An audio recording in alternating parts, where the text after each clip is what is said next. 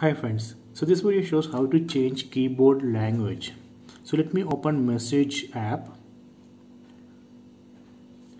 Then tap on this plus symbol.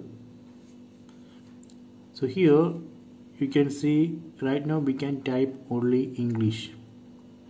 So we cannot type any other language.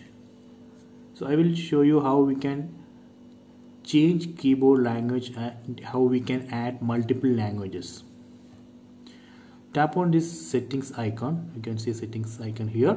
Tap on that. Then tap on languages. Then tap on add keyboard.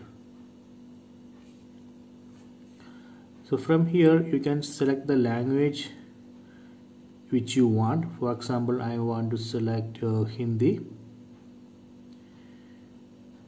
So when you select Hindi here you can see multiple options you can see English to Hindi then direct Hindi keyboard if you want you can enable it. Then tap on done. So let me add one more language. Again tap on add keyboard. So I am going to add Arabic. Tap on Arabic. Then I am going to select Arabic Egypt then tap on done. So now I have added two languages.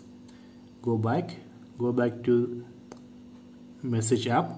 So here here you can see English. If you tap and hold this button you will get this option. So from here you can select the language which you want. For example I want um, Arabic. Tap on Arabic you can see keyboard has changed. Language of the keyboard has changed. Now we can type Arabic here. So if you want to switch to Hindi again here tap and hold. Then select Hindi.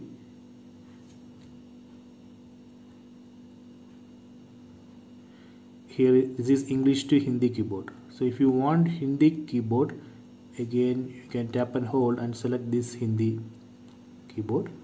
Now you can see Hindi here. So this way we can change keyboard language. If you want to remove again tap on that settings icon go to languages then tap on this edit icon. Now you can delete the languages which you want then tap on delete. Done so this way we can change keyboard language. I hope you enjoyed this video. Please subscribe my channel. Please like and share the video